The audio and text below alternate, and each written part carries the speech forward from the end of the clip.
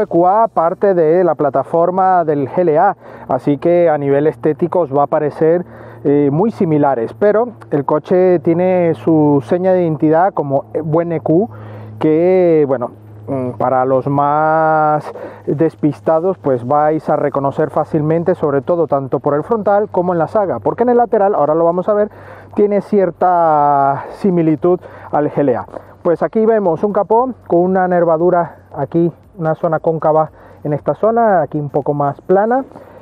El logo de la estrella, como de costumbre, aquí en la parte del capó. Y estas líneas que dan juego para el lateral. En este modelo llevamos el carenado totalmente sellado, en este plástico negro brillo dos lamas en cada extremo en cromo, el logo de la estrella en la parte central y unas ópticas también de nuevo formato en horizontal de sistema LED High Performance de Mercedes-Benz. Tiene muy buena firma lumínica, además el alcance también de las luces son muy buenas y la calidad es bastante aceptable. En este paragolpes también llevamos señas de identidad muy diferentes al GLA, pero aquí vemos estas entradas de aire con estos embellecedores en negro brillo. Y por supuesto vemos también este parte final del paragolpes con toques en cromo y protecciones en negro mate para no perder la costumbre en estas líneas crossover. Bueno como os he dicho en el lateral vemos prácticamente un GLA mmm, vamos calcado. Hay poca diferencia excepto por un par de detalles como por ejemplo tenemos aquí este anagrama en este elemento en negro brillo en la aleta que dice EQA. Por supuesto también las llantas específicas que puede llevar, incluso como en estas opcionales de tamaño 20, que eh, le dan este toque diferenciador a los modelos EQA. Aquí, bueno, las líneas muy marcadas en la chapa, en estos pasos de rueda, luego lleva las protecciones en negro mate, unas líneas muy cóncavas en esta zona de la puerta, pero muy muy sutiles, no hay corte de línea agresivo en la parte de la cintura, es todo muy redondeado. Y por supuesto aquí vemos una pequeña un pequeño abultamiento en la parte de, mm, de, las taloneras, unas taloneras que están rematadas también en negro mate como protección y un toque en cromo que le da este aspecto más elegante al vehículo. Los marcos de las ventanas también van en cromo, esto otro toque más elegante y por supuesto las barras en el techo como de costumbre en este acabado aluminio para resaltar el aspecto crossover y bueno, lo que está tan de moda a día de hoy. Las manetas también van con eh, toques cromo y el color de la carrocería y además tiene acceso manos libres para ambas, para las cuatro puertas, ¿vale? Cristales oscurecidos, el pilar B va oscurecido también en este negro brillo, un detalle bastante continuista en lo que es las ventanas, las carcasas de los retrovisores, color de la carrocería e intermitente en LED integrado, y por supuesto aquí encontramos ya el pilar C con una tapa donde encontraremos los conectores tipo Meneque para carga normal y carga rápida. Una carga rápida que ah, nos puede permitir 100 kWh en una carga aproximadamente de una media hora, aproximadamente de 0,80% en, esos 30 minutos, así que está bastante bien. Si ya estamos en una media de 11 kilowatts, ya necesitaríamos un poco más. Y ahora en la parte dinámica os comentaré un poco más al detalle. Por supuesto, aquí ya vemos parte del piloto trasero que muerde el pilar C y encontramos otra de las diferencias de este QA. Aquí en la saga ya se distancia notablemente del GLA gracias a estos pilotos traseros que van unidos con esta parte central que también se ilumina, queda una firma lumínica bastante atractiva, bastante futurista, pero aquí vemos ya esta zona que sí es cierto que a nivel de lateral nos puede dar un toque muy similar al GLA, aquí rompen directamente con ese aspecto, ¿no? Igual tiene las mismas formas, un mismo diseño, un alerón muy sutil con estos aletines en negro brillo, también aquí el limpia luneta, los cristales oscurecidos y la tercera luz de freno aquí justo en la parte central.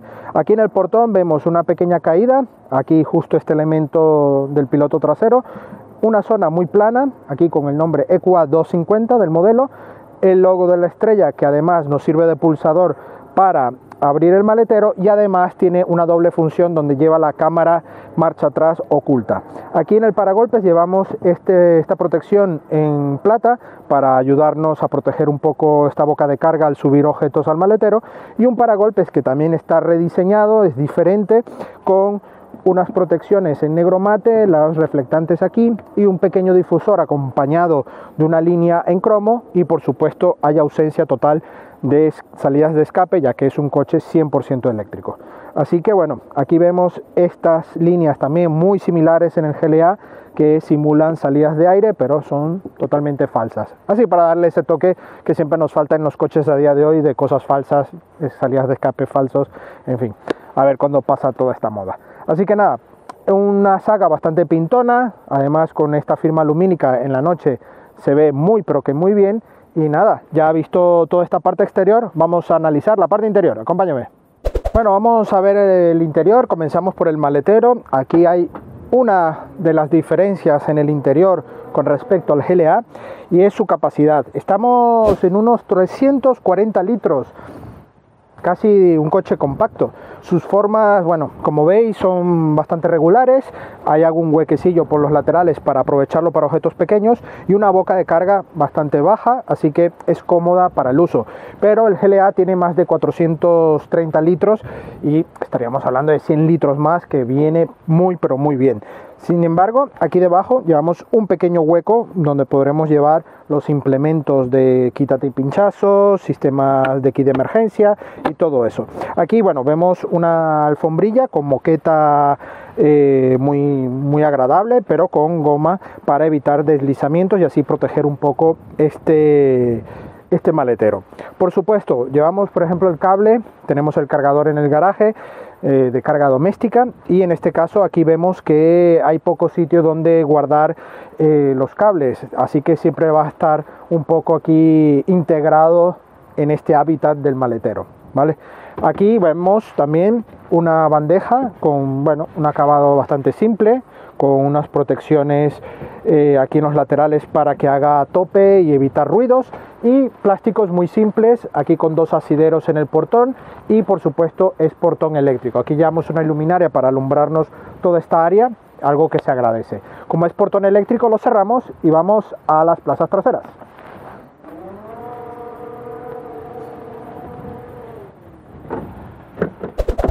Plazas traseras, aquí vemos una entrada bastante buena, la puerta no abre 90 grados, pero está muy bien, y cerramos la puerta. Acabados, muy buenos, mullidos. En la parte superior, la parte ya intermedia, ya encontramos plástico duro, pero en la zona central sigue habiendo material de buen tacto, simil piel, con algunos detalles como en aluminio que le dan ese toque muy pero muy pintón y elegante a este interior. Una de las desventajas en este QA con respecto al GLA es que la banqueta no se desplaza, tampoco es regulable en el respaldo y estamos un poco más elevados de posición. Sin embargo, tenemos una banqueta un poco cortita, aunque aquí tenemos este relieve o este salido para las pantorrillas, pero yo que tengo las piernas mido 1,77 y no puedo extenderlo demasiado porque el asiento delantero no me lo permite, pues no llego a tocar con las pantorrillas. Así que es una banqueta un tanto extraña, además que el respaldo recoge bien, pero me siento como que algo falta. Me siento que o la parte de la base está algo corta, aunque visualmente no, no lo aparenta, pero esta altura que tenemos aquí de las piernas y no poder extenderlas demasiado nos hace ir un poco extraños en estas plazas traseras. En cuanto a altura, llevo tres dedos de separación, no hay, no hay mayor problema. En rodillas, más de 10 dedos de separación, sin mayor problema. Y huecos portaobjetos tenemos estos bolsillos con una red muy simple en los respaldos traseros. Tenemos respaldos traseros con parte plástica, así que menos mal que hay bastante separación porque si no nos tocaría sufrir esto en las rodillas. Y por supuesto en las puertas llevamos dos huecos portaobjetos para botellas incluso de mediana dimensión muy optimizadas. En cuanto a la zona central, llevamos esta consola con dos salidas de aire con efecto turbina para continuar con este diseño del interior, un hueco aquí con una bandejilla para llevar objetos y un puerto USB para conectividad en la parte más baja. No llevamos ningún tipo de regulación de temperatura ni de caudal, excepto en el caudal podemos regularlo aquí propiamente en la salida de aire, podemos cerrarlo o abrirlo, ¿vale? La plaza central, pues tiene toda la pinta de que es algo incómoda por el reposabrazos, ya que llevamos aquí nuestro sistema de posavasos, y por supuesto no llevamos ningún tipo de apertura de otro tipo de guanterilla como en otros modelos de la marca. Pero esto es bastante durillo y si ya que vamos un poco elevados aquí con esta base un poco más mm, elevada más firme nos va a incomodar más. Pues bueno lo dicho es algo más incómoda la base es un poco más alta y más firme esto nos resta confort en cuanto a anchura, lo veo bien para un viaje puntual. Yo mido 1,77 y creo que aquí tres adultos podrían viajar con cierta comodidad, ¿no? Ah, no estaría mal. Y el túnel no es demasiado invasivo, así que podré recoger un poco más las piernas.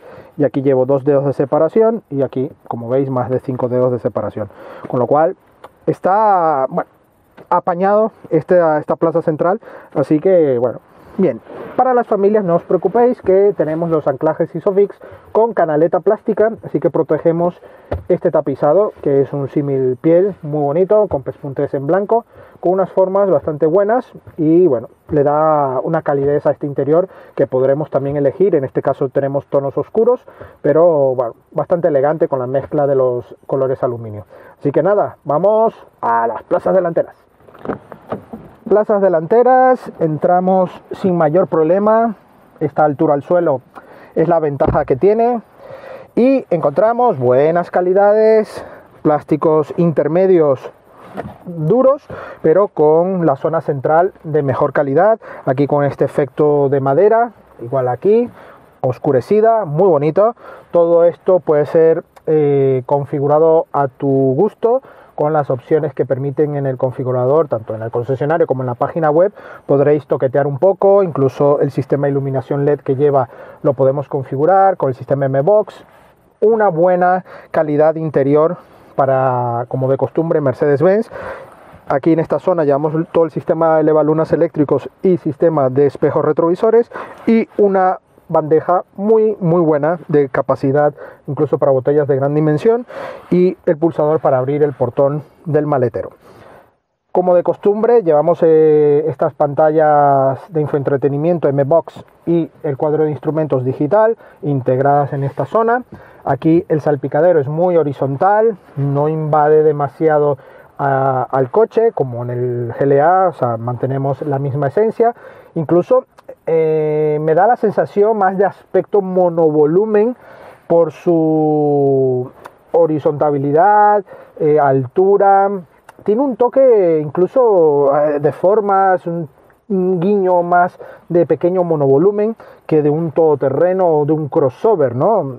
Es un pequeño toque bastante peculiar pero a mí sinceramente me da esta sensación de más de ir en un pequeño monovolumen crossover, ¿no? Bueno, mi opinión.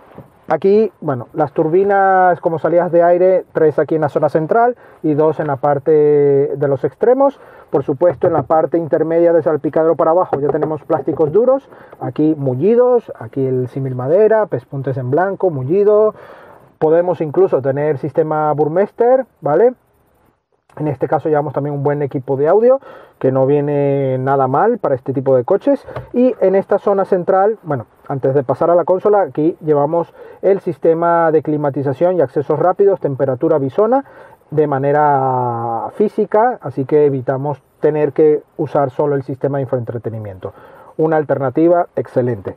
Aquí en la consola llevamos una pequeña cortinilla en negro brillo que al abrirla llevamos eh, todo el sistema de carga inalámbrica con puerto USB tipo C. Por supuesto, tenemos dos portabebidas configurables que podemos retirar para bueno, facilitar el confort en, este, en esta parte delantera. Aquí, bueno, vemos el sistema touchpad para el sistema MBOX, que también tenemos el sistema por voz de A Mercedes y los sistemas Dynamic L, sistema de volumen, cámaras, eh, accesos rápidos a navegación, media, teléfono, bueno. Y este pequeño tochito aquí que nos permite descansar un poco la mano y poder usar el sistema táctil con un acabado bien. Aquí, bueno, un altillo para el reposabrazos que no es regulable ni en altura ni profundidad, pero dentro tenemos una guantera con moqueta con dos puertos USB muy útiles. Unos asientos con un formato bastante acordes al tipo de coche, al corte que lleva este EQA, muy cómodos, incluso llevamos aquí de manera manual la configuración de la extensión para las pantorrillas. Aquí sí voy con una regulación con, confortable. Aquí voy tocando las pantorrillas, tengo buena eh, largo de la base, me siento, bueno, eh, las lumbares no sujetan del todo, del todo, pero está bien, es confortable. Incluso llevamos el sistema de calefacción y ventilación, también algunas opcionales más para esta unidad, así que todo va sumando. Como huecos portojeto llevamos aquí una mini guantera a doble altura y luego la guantera principal para guardar toda la documentación suficiente. Todo en plástico, no llevamos mullido, pero aquí sí una gomilla un poco más para llevar objetos pequeños ahí separados de la guantera. Por supuesto, como de costumbre en la piña, aquí vemos eh, la palanca de cambios, aquí el sistema de limpias automáticos e intermitentes, el botón de encendido y un volante de la firma que tiene aquí los dos radios multifunción, todo el sistema touchpad para el cuadro de instrumentos y el sistema también para el infoentretenimiento. El claxon, aquí este efecto aluminio, un poco achatado, para darle ese guiño especial deportivo y unas levas que es para la parte regenerativa que ahora comentaré en la parte dinámica. Acompaña.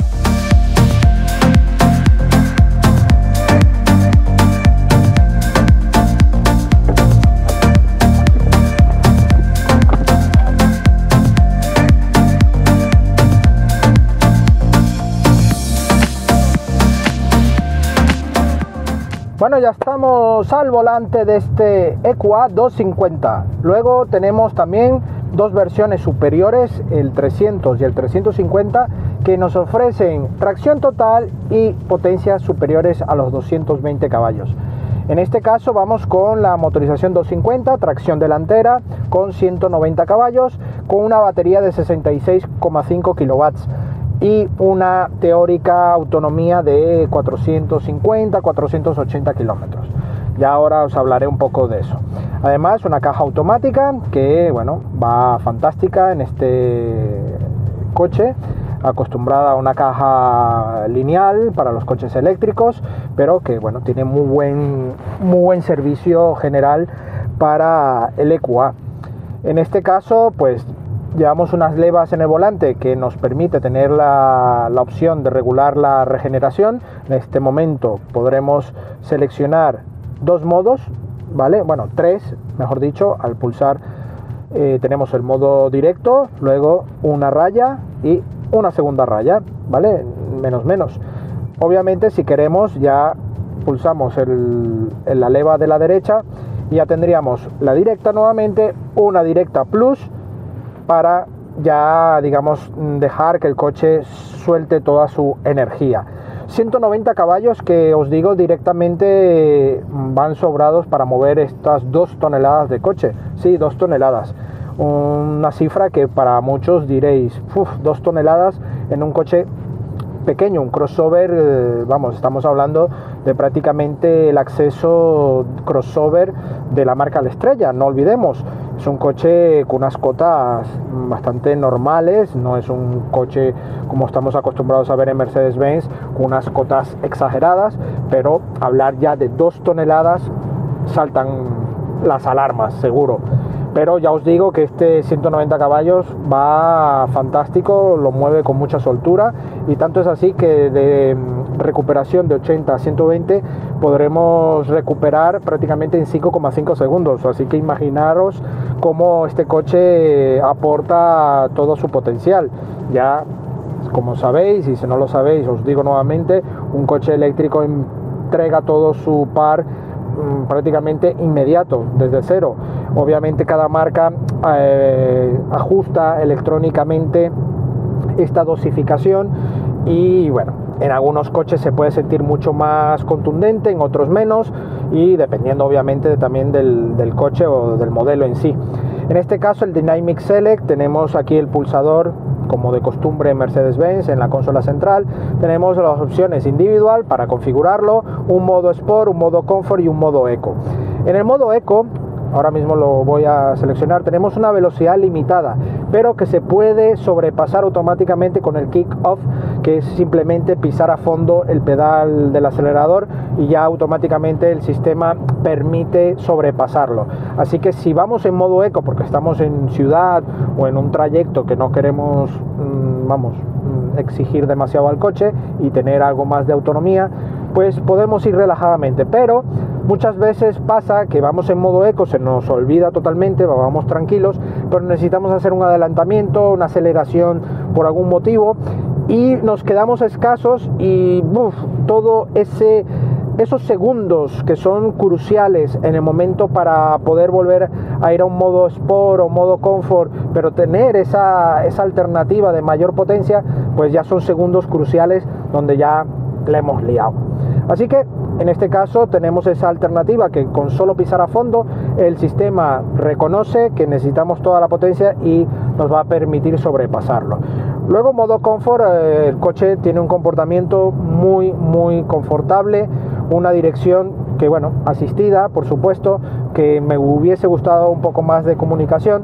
Ya en modo sport tenemos ya un tacto mucho más radical en el pedal, esa energía que necesitamos la dirección, bueno, endurece un poquitín, tenemos un poco más de comunicación, ¿vale? Pero sin llegar a extremos. Obviamente este coche no busca un corte deportivo, para nada. Y luego ya en el individual, pues vamos configurando a nuestro gusto con los parámetros que nos permite. Este coche además permite una carga eh, de 100 kilowatts eh, como carga rápida y podremos cargar de 0 a 80% en 30 minutos. Además tenemos la opción hasta 11 kilowatts que bueno, nos va a permitir una carga también un poco más lenta, por supuesto, pero a una carga bastante buena para obtener autonomía. ¿no? En este caso hemos cargado tanto en cargas rápidas sin ningún problema para algunos parámetros que necesitábamos saber y eh, no ha sido ninguna sorpresa, pero en casa lo hemos cargado más frecuentemente, sobre todo en las noches. Eh, tarda prácticamente unas 8, 9 horas, según sea el caso, para recuperar un 30% únicamente. Ya pasando la barrera de los 80, del 80% de la batería, obviamente la batería va cargando un poco más lento y sobre todo ya en los últimos porcentajes para llegar al 100% va mucho más lento. Así que bueno, a todas estas, ¿Qué autonomía nos ha dado a nosotros? Pues la autonomía nos ha dado en un entorno de 400, 410 kilómetros, algo que difiere un poco de lo que nos indica la marca, pero también es cierto que hemos hecho mucho trayecto de autovías, carreteras secundarias, pues eh, lo que estamos acostumbrados a ver, ¿no? Y hay un uso normal del coche, porque no vamos a comprar un coche eléctrico para ir siempre por carreteras simplemente llanas, eh, un uso, vamos, es que no.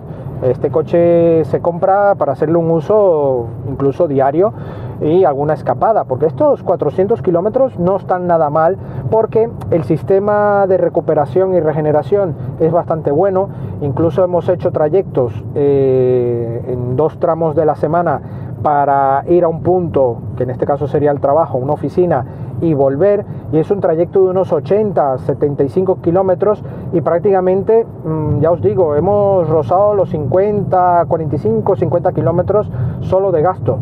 Y eso que hemos ido por autovía. Ah, mm, ya ahí, si calculamos, estamos en unas cifras muy, muy atractivas si sabemos, obviamente, adaptarnos a esta conducción de esta nueva era electrificada y que no nos volvamos locos a estar pisando siempre a fondo este coche que, obviamente, te invita ¿no? a disfrutar de la conducción por esta pegada que tiene, pero no nos volvamos locos y hagamos un uso razonable de la electricidad.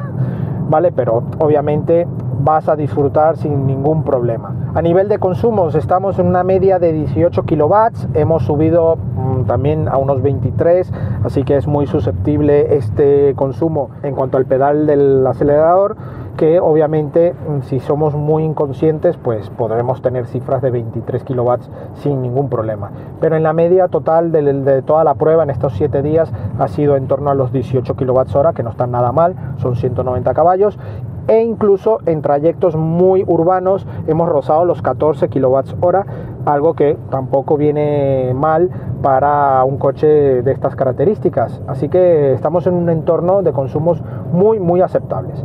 En cuanto a puesto de conducción, como os he dicho, voy un poco elevado, eh, muy similar al GLA.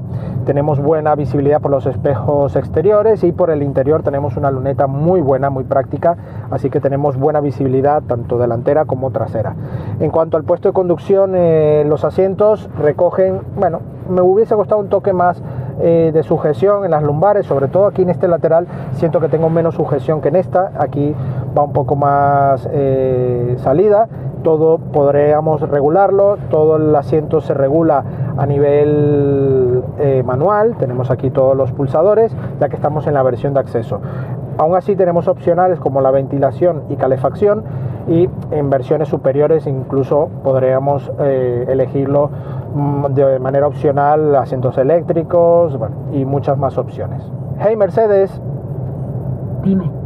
Tengo calor. He reducido la temperatura a 20 grados en el lado del conductor. Como veis, es uno de los sistemas a día de hoy que son más eficaces, mm, va de lujo como va este sistema M-Box de Mercedes. Y ya como os digo, la verdad no hay ningún problema. Incluso tenemos la configuración interior de, la intensidad y de los colores en LED. Esto, bueno, un guiño más de personalización para la gente más joven, incluso que les gusta tener este toque personalizado en su coche, pero también para los que no somos tan, tan jóvenes, pues también nos puede gustar. Así que nada, es un coche que tiene un comportamiento a nivel de suspensión muy confortable. Eh, apenas se nota balanceos excesivos. Estas dos toneladas también ayudan a eh, un aplomo eh, mejorado ¿no? en cuanto a suspensión, pero mm, se nota cuando queremos excedernos en algunos tramos de curva que este peso puede jugarnos una pasada sin ir a, límites, ¿no? Así que tenemos que ser un poco conscientes con respecto a ello. No estamos ante un coche deportivo, para nada, es un coche de corte de viaje, de trayectos urbanos, con un confort muy alto, así que tendremos que tener en cuenta eso. A nivel de freno, pues si llevamos el sistema de regeneración activado, como en este caso podremos elegir un, negativo, otro negativo, el coche prácticamente frena por sí solo. ¿Vale? Tendríamos casi llamarlo el único pedal, el e-pedal, para conducir con este EQA.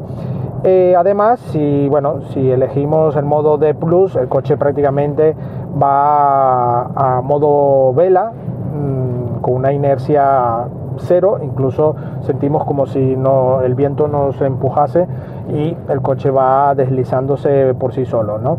En este caso ya no llevaríamos un sistema regenerativo en pleno uso, así que bueno, aquí lo llevamos en modo, el primer modo regenerativo y ya con retirar un poco el pedal del acelerador tendremos las incorporaciones ideales para no tener que tocar el pedal del freno.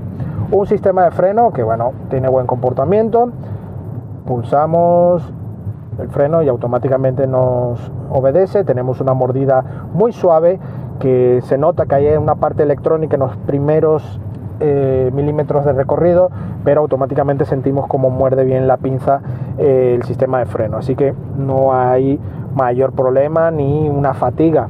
No hemos notado ningún tipo de fatiga. También obviamente no estamos probándolo para llevarlo a circuito, así que para un uso diario, normal, rutinario, vas a estar muy, pero que muy bien. Bueno amigos, eso ya por esta parte dinámica estaría completado, así que nada, acompáñenme y os cuento mi veredicto final.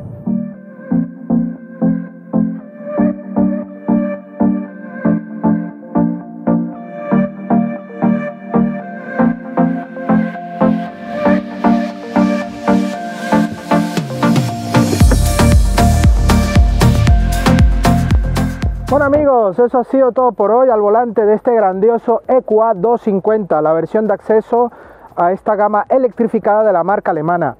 Como habéis visto, pues es un coche que tiene un comportamiento muy noble, un comportamiento bastante eficaz, que incluso teniendo ya un poco este chip electrificado en nuestras mentes, podremos sacar mucho provecho de esta autonomía. Una autonomía que, bueno, la marca nos ofrece Mm, alrededor de los 480, incluso 500 kilómetros, si sabemos aprovechar muy bien, pero a nosotros en toda la prueba ha estado en el entorno de los 400 kilómetros totales, ¿no?